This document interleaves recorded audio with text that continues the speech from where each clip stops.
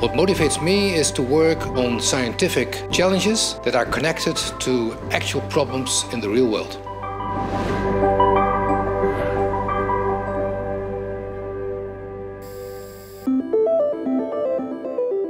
The uh, Negative Emission Technology program at the University of Twente aims at catching CO2 from the atmosphere, but also at point sources that still exist. And we will do that by using technology, new technologies, uh, but also by using uh, biological means.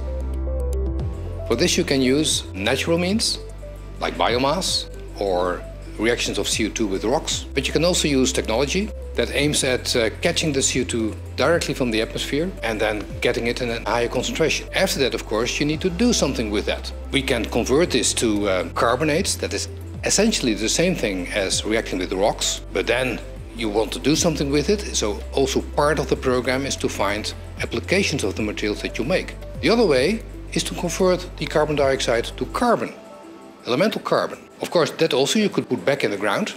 You make kind of natural coal again. But would be much better, of course, if we also there could find good applications for that carbon for, for instance, construction uh, applications. Well, we are building a, a, large network at the moment with uh, large companies and small companies, as well as research institutes.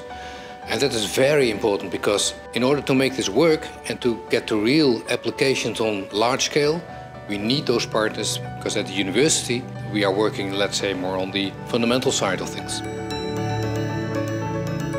My dream is that we can really contribute to uh, solve this very complex problem that has no solution yet. And I hope that our excellent science, together with our partners, can really help in solving this problem.